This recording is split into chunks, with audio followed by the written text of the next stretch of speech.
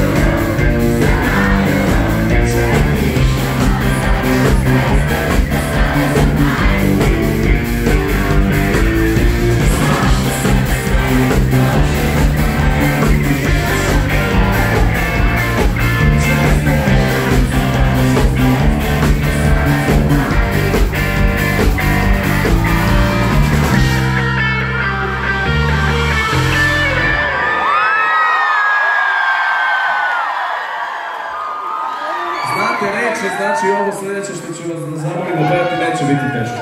Ajde, ponavljajte za mnom.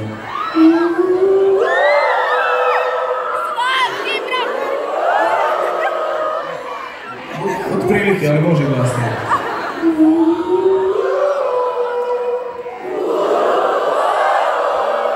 Još jedna.